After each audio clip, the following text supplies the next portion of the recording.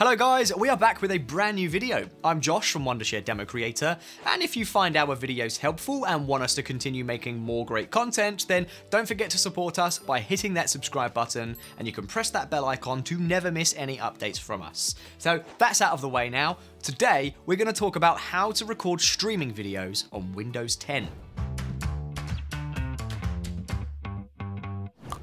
I'm going to cover three different methods so you never have to waste time thinking about what to do in case a method doesn't work. The first method you'll learn is recording a streaming video with Wondershare DemoCreator. Wondershare DemoCreator is the preferred choice of many professional content creators when it comes to recording streaming videos on Windows 10.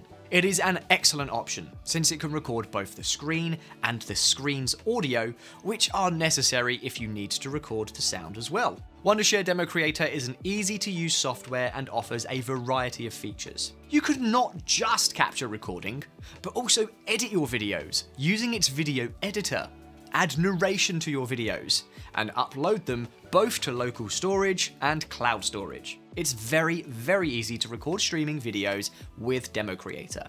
All you need to do is follow a simple three-step process. Step 1. Configure the settings. After DemoCreator's installation, launch the program and then click Start a Record Project in the next window to begin the process. Now you can see some settings that you can configure according to your needs.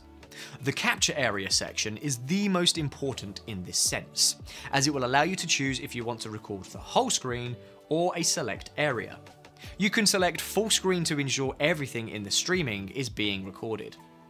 The system audio section is also important if you want to capture the sound of the streaming video that you want to record. If you would like to add your own voice to the recording, you can enable the microphone option and select the microphone of your choice from the drop down menu. The webcam tab allows you to choose whether or not you want to capture webcam footage. Step 2. Start the recording. Now that all of your settings are set, click that record button to start recording. A 3 second countdown appears on the screen before the actual recording begins. During the recording, you can press the F9 key on your keyboard to pause or resume the recording as required. And when you're done with the recording, press the F10 key to finish the recording. Step 3. Export or edit the videos. When you finish the recording, then it will automatically switch to the video editor panel. You can preview your recording in the preview window before exporting. And you can also easily edit the recorded videos if necessary. So you could see how easy it is to record streaming videos on Windows 10 with DemoCreator. But our next method is to capture streaming videos with VLC Media Player. So I assume that nearly every single one of us nearly every single one of us uses VLC Media Player, and you've got it installed on your computer. It's also an excellent option if you're wondering how to record streaming videos on Windows 10. I'm going to show you a few steps that you can follow to record streaming videos this way. Step 1. The first step is to launch the VLC Media Player, and then select Convert or Save from the Media tab. You can also press Ctrl R on the keyboard. Step 2. Now go to the Capture Device tab and select Desktop in the Capture Mode drop-down menu. Step 3, you can also choose the frame rate of your choice. Generally, 10 FPS is suitable for recording streaming videos. Step 4, now click on the Convert or Save button at the bottom. Step 5. In the next window, click Browser to select a location to save the file and set a file name. Click the Save button after naming and selecting the file location. Step 6. At this point, you can click the Start button to start the recording. You can access the recording in the pre-selected path. There's another recording method that comes pre-built in Windows 10, which is available in the game bar. Windows 10 Game Bar has a screen recording feature that is primarily used for recording gameplays. However, you can use it to record streaming videos on Windows 10. It is easily accessible, it's free, and easy to use. All you need to do is follow the next few steps that I'm going to show. Step 1. First of all, open the streaming video or media that you want to record. Step 2.